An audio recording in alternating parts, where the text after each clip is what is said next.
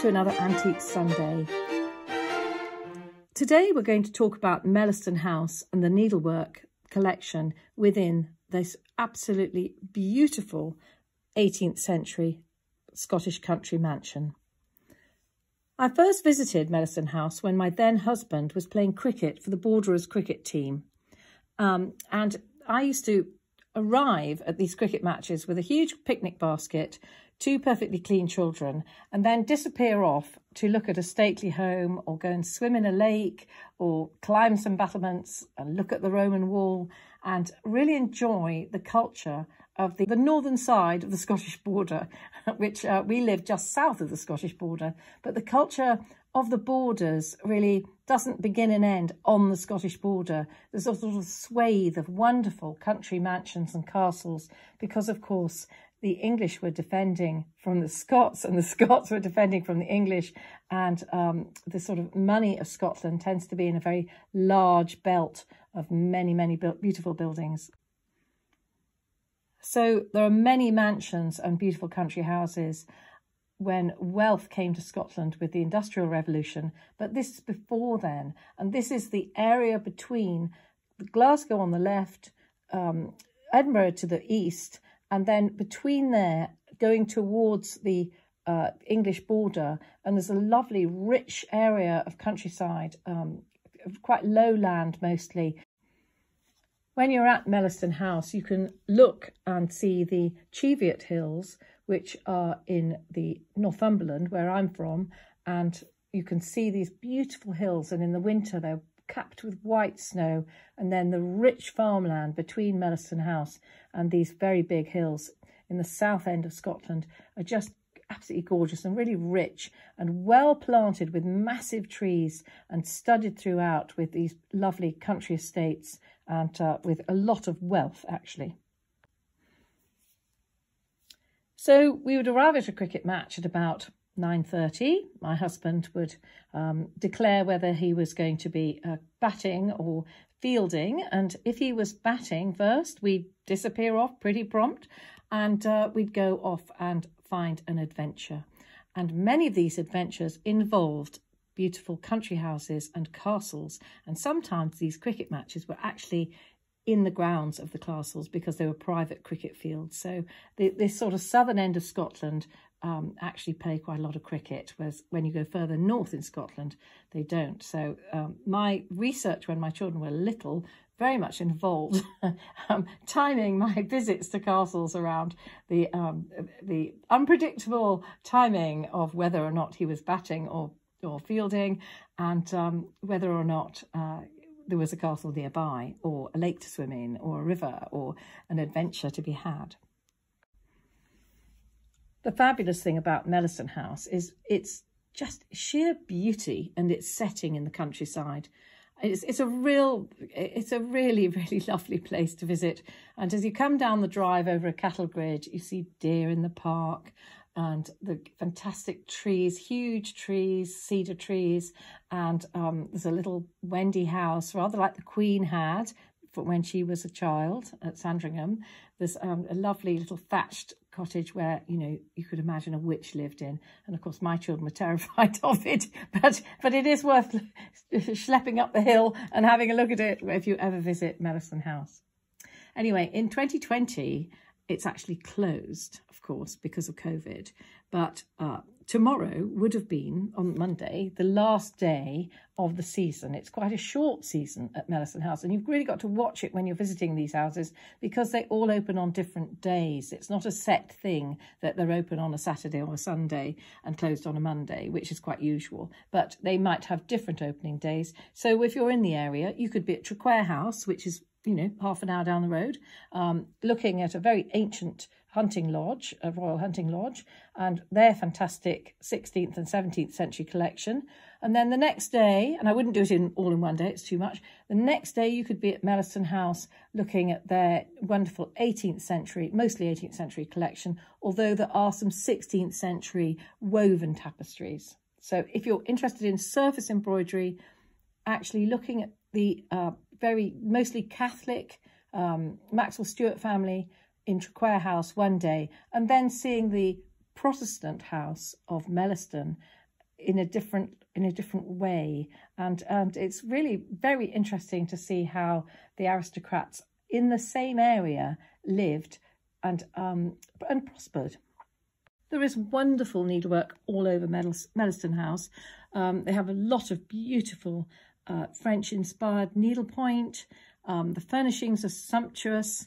It's kept in beautiful order. It's a really well maintained um, house, absolutely wonderful house, well run in all ways.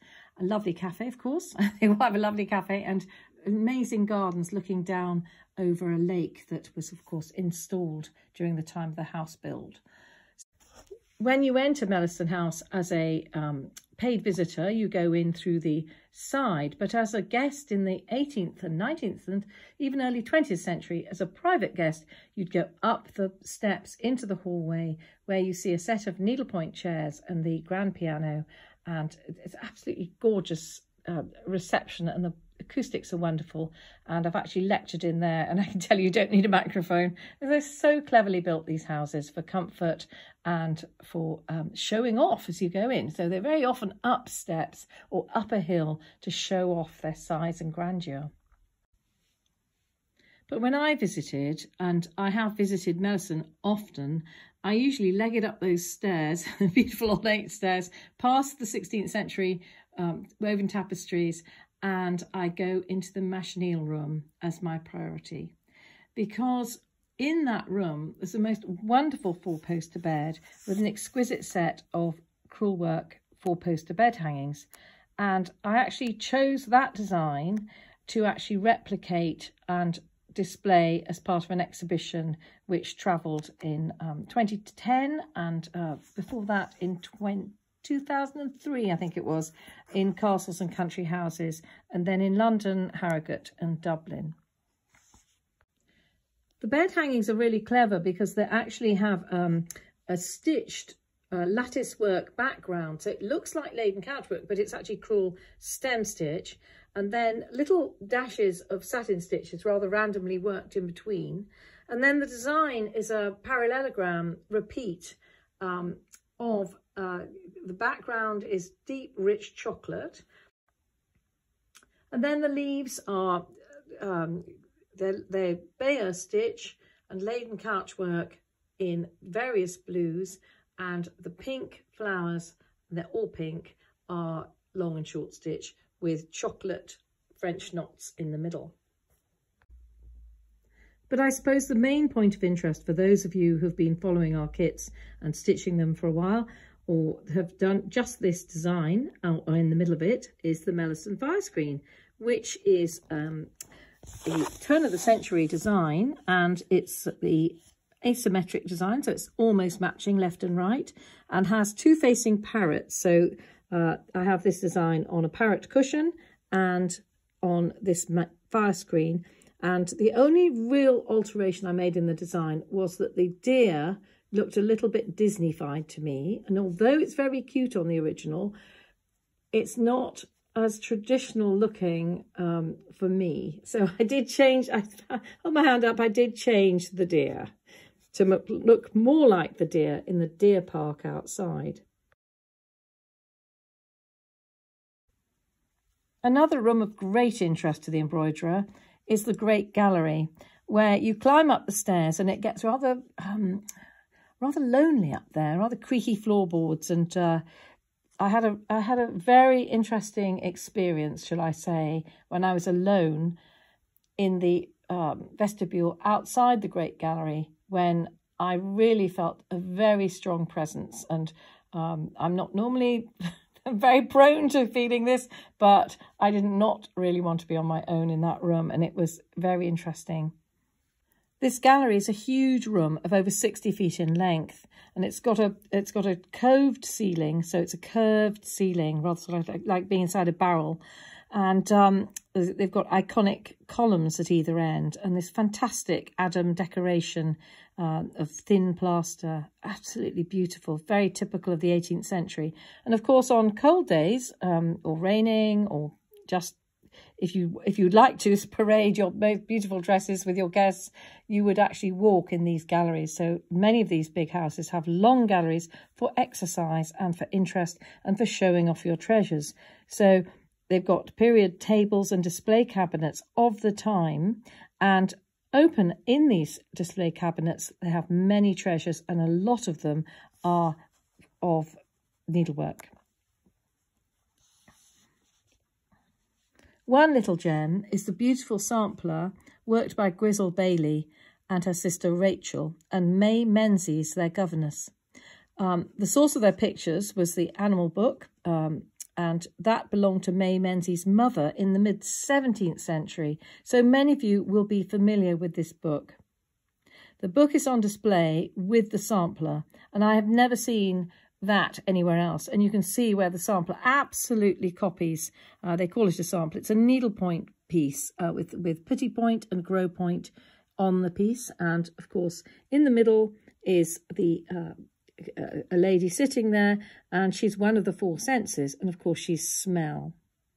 And she even has some um, smell hounds on the bottom right of her little uh, vignette in the middle. But the way that the um, animals are described on here, you can actually see the rhinoceros. And I've seen a very similar rhinoceros in crewel work, worked about the same time in Glamis Castle, the same time as the original book in the 17th century, that is.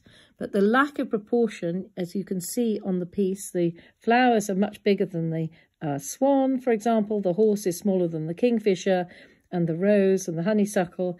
And you can see that um, the, the designs are just pricked and pounced straight onto the background fabric, so there's no scaling up or down.